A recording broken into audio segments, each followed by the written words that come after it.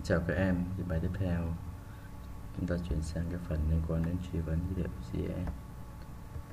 Nội dung trong bài này chúng ta sẽ, sẽ tìm hiểu à, hai cái phần như sau. Phần thứ nhất là truy vấn thuộc tính. Ở đây chúng ta sẽ đề cập đến hai cách. Cái thứ nhất là chọn trực tiếp đối tượng thông qua cái công cụ là identify.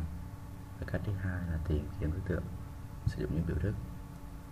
Phần truy vấn không gian chúng ta tìm hiểu qua những cái um, suy vấn giữa điểm với điểm điểm với đường điểm với vùng rồi giữa uh, đường với điểm đường với đường đường với vùng vùng với điểm vùng với đường và vùng với vùng.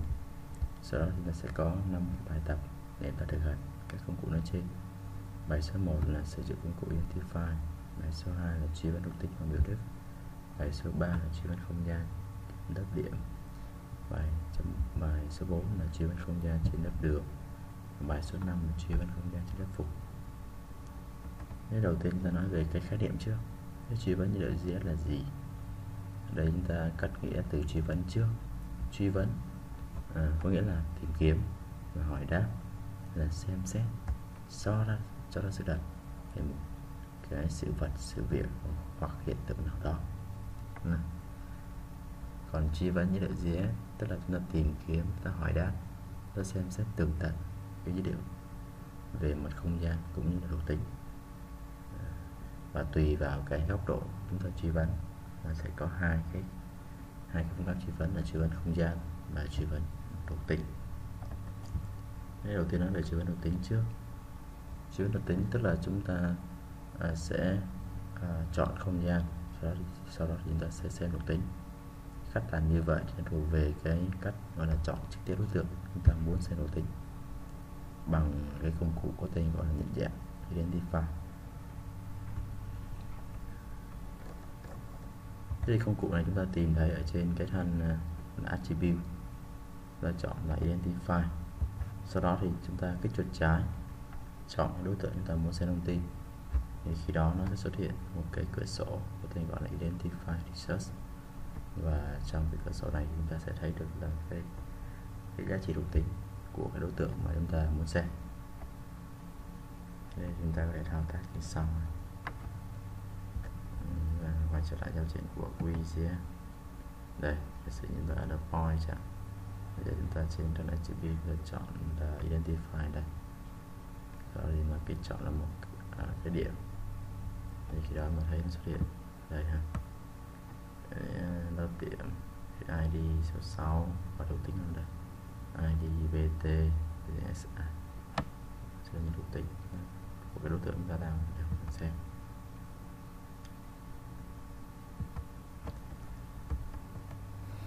Thế thì cái bài đầu tiên chúng ta sẽ sử dụng với công cụ identify. Đây đầu tiên chúng ta sẽ thêm dữ liệu là khân chi ờ, save file nằm trong cái thư mục là fd data của sau đó chúng ta sẽ thực hành. Ờ, à, cái cách sử dụng của identify nghĩa là chúng ta sẽ chọn bất kỳ một quốc gia nào trên cái dữ liệu khung chi này.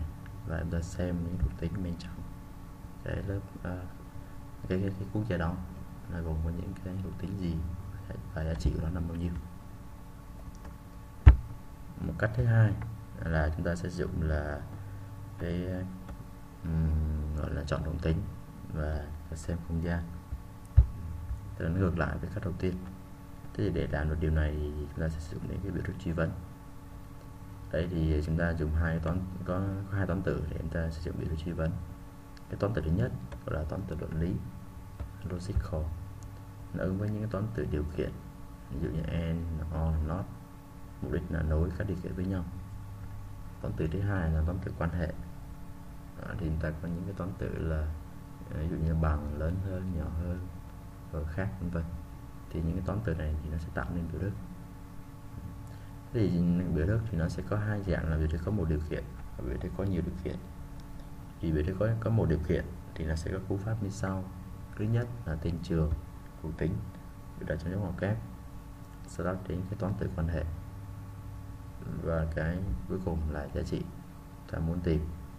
Thì cái giá trị đây có thể là giá trị số, ví dụ như năm, ví dụ như 2014 hoặc cũng có thể là chữ ký tự ví dụ như là Việt Nam.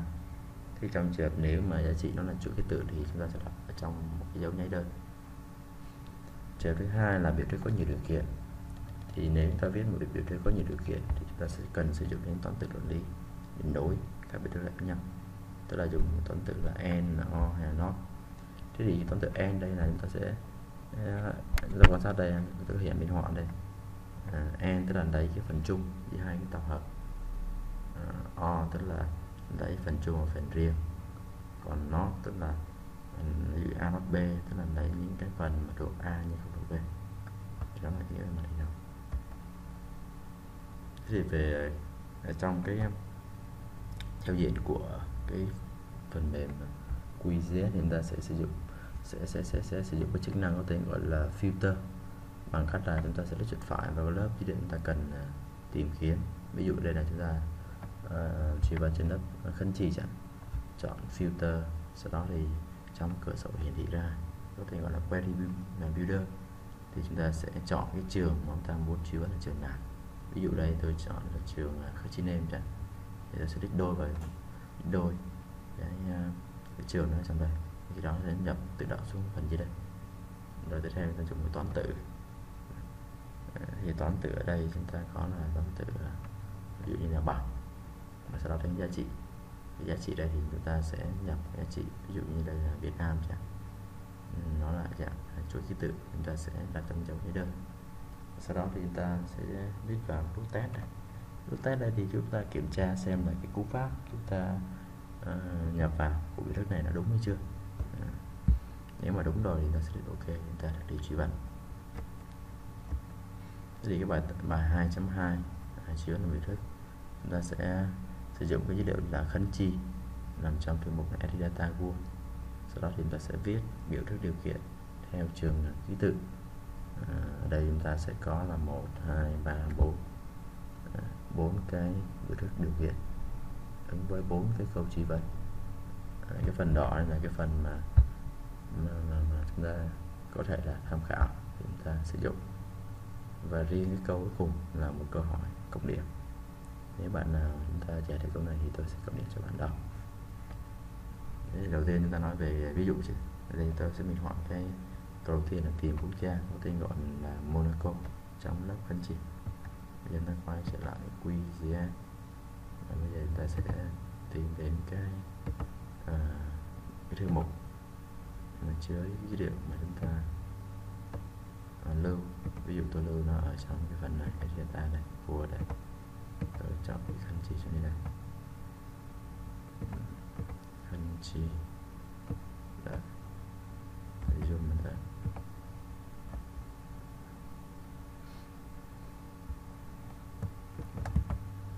Đây do là cái hệ độ nó bị uh, bị xung đột nên uh, làm cho cái biến dạng chọn lại được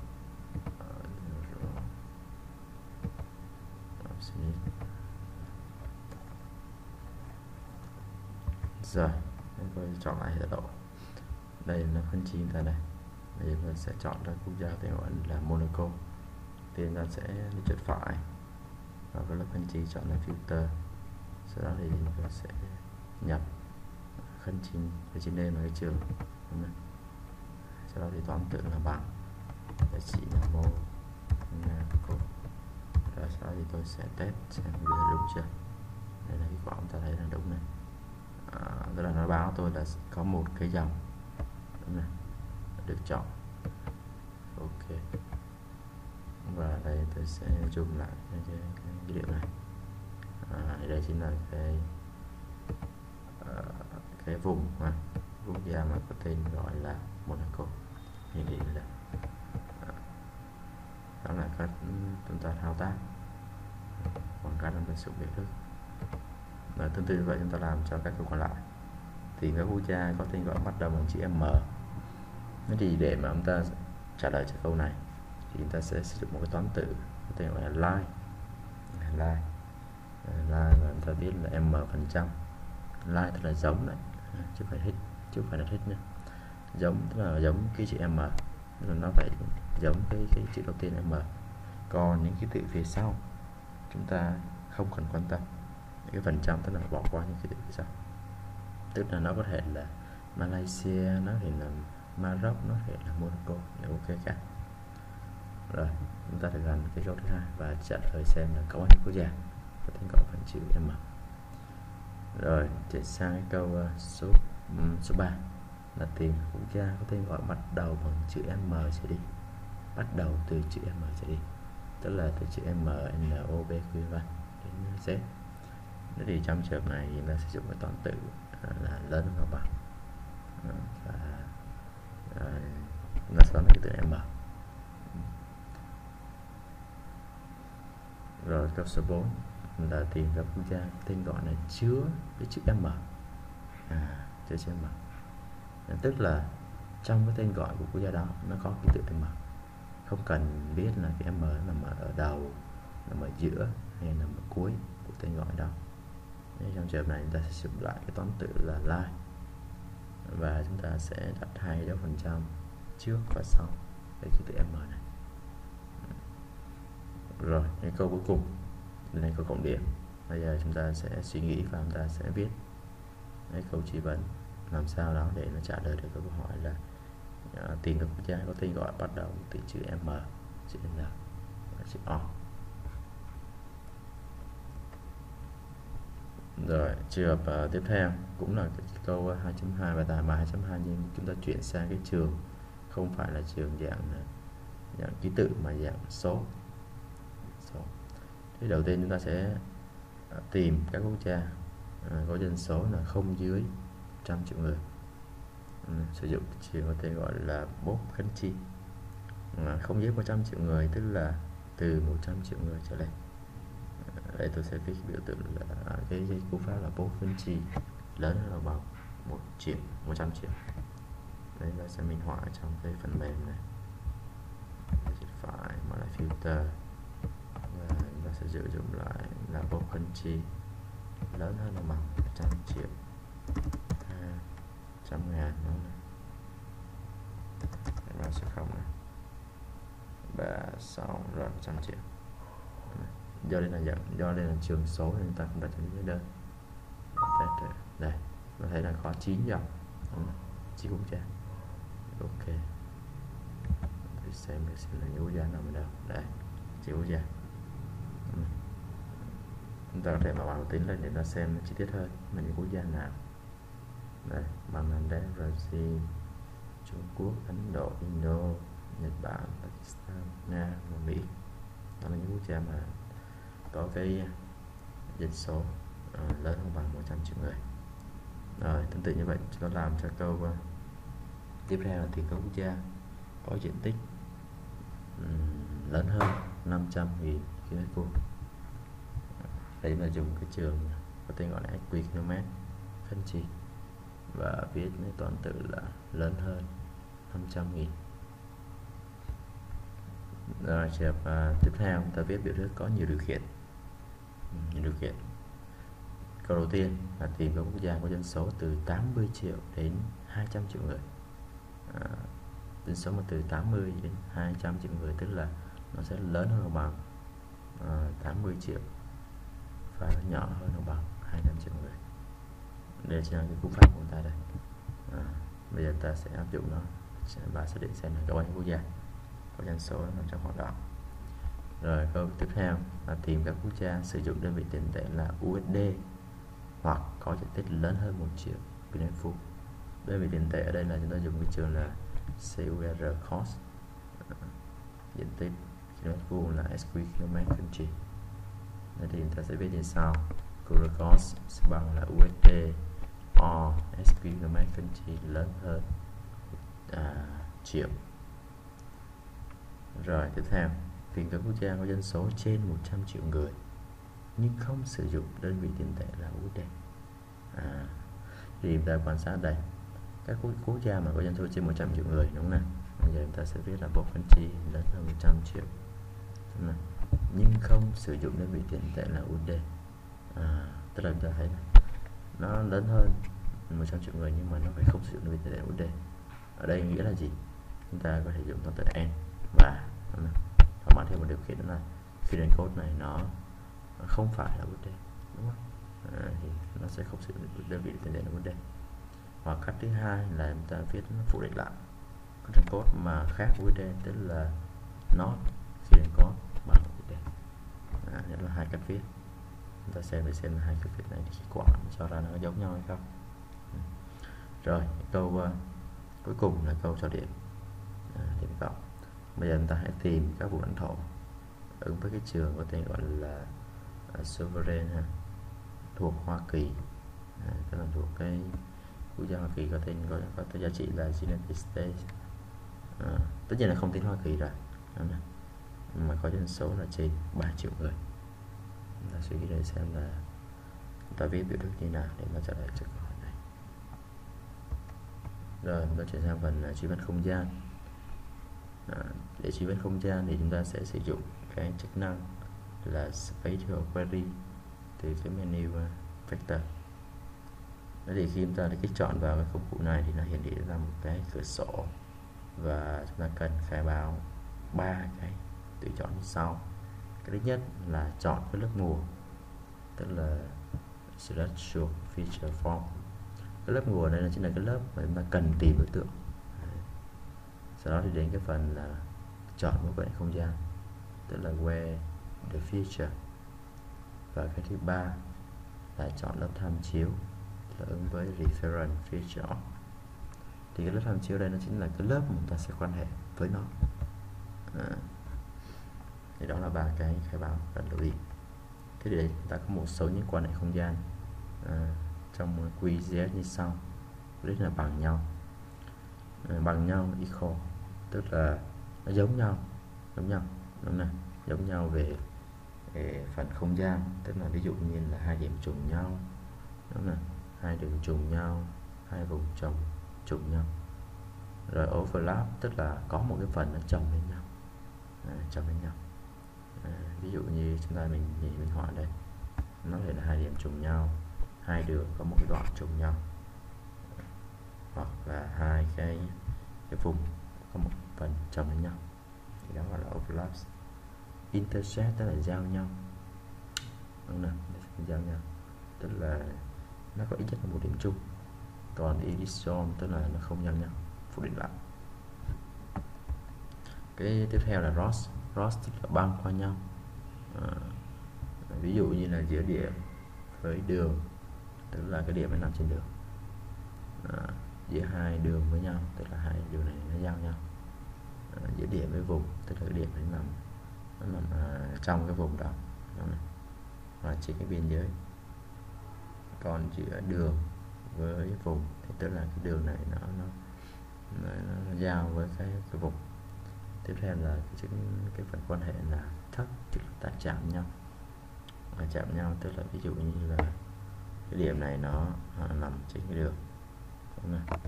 hoặc là cái điểm này nằm trên ranh giới của cái vùng rồi. À, hoặc là hai cái đường này nó chạm nhau. À, chạm nhau.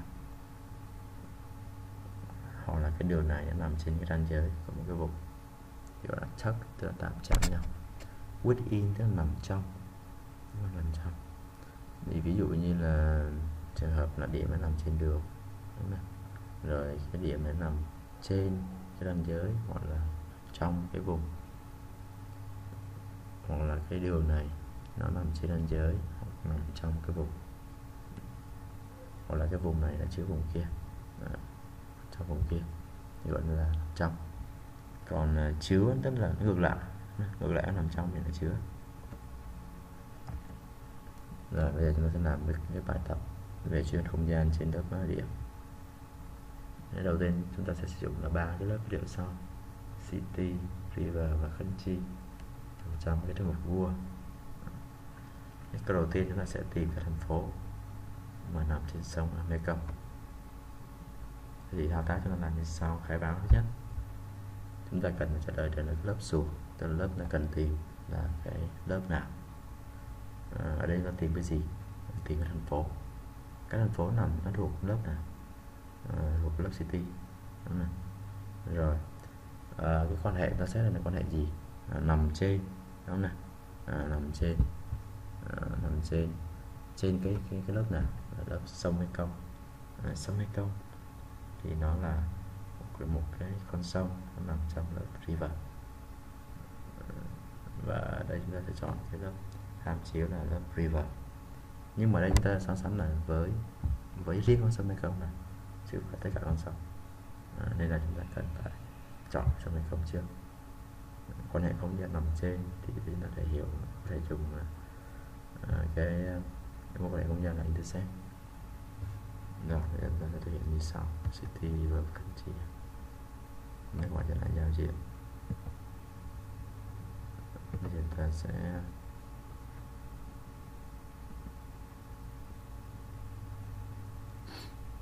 sẽ bỏ chọn đi. Rồi xin lỗi. City river và country đâu này nên ta sẽ xem ở đây, city, river country nó thêm rồi.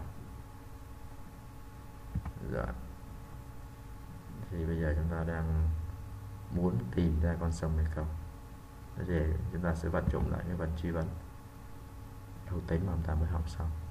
Tức là nó có tên nó là là Mekong. Mekong. Đây, Mekong này Rồi, okay đây chính là con sông Mekong ta đây. Rồi tiếp theo chúng ta sẽ truy vấn. Chọn vector chọn chức năng chuyển không gian. Chuột là lớp chúng ta cần tìm. Chúng ta muốn tìm là tìm city. Và nó quan hệ là giao với lớp river. Dạ. Đây chúng ta đã đọc rồi chúng ta không cần phải không cần phải, phải, phải chọn là chọn GM này apply. Rồi như cái gọn ta thấy đây ha chúng ta có cái quả đây. Là một cái thành phố đúng không bây giờ mình sẽ mở bản tính của cái city này để nó xem thử xem nó là cái thành phố nào. Nó sẽ đưa cái lớp chúng ta mới chọn trên đầu.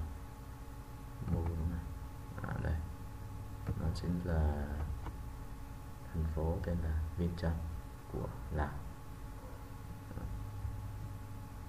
Đây đó là chúng ta đã hoàn tất xong cái câu đầu tiên. Ừ, Tiền thành phố là những câu. Tương tự như vậy chúng ta áp dụng cho cái câu thứ hai là tìm thành phố nằm trong quốc gia Việt Nam. Cái gì đây chúng ta muốn tìm là tìm thì thành phố đó ta tìm cái đất city. À, quan hệ nằm trong đó là within à, quốc gia Việt Nam thì thuộc cái lớp khánh chi đúng không à, vậy chúng ta sẽ sẽ cần thao tác trước là chọn ra quốc gia Việt Nam trước. Để chúng ta có khánh chi đây. Chúng ta sẽ filter. Chúng ta có khánh chi name. Vâng, Bằng Việt Nam rồi thử nha. Việt Nam chọn rồi sau đó ta sẽ chỉ luận xem là có bao nhiêu cái thành phố trong Việt Nam đây ta chọn là để chọn là city đúng không? À, nó nằm trong quốc gia Việt Nam rồi apply chúng ta thấy đây là có một hai ba và bốn không bốn thành phố xem được là thành phố nào. Có bàn lên và chúng ta di chuyển những cái dòng để chọn gì đã có Hải Phòng có Hà Nội Hồ Chí Minh có đây rồi nó sẽ là cái câu uh, thành phố nằm trong Việt Nam. Với vậy 2.4 tôi chuyển sang cái lớp không gian là vui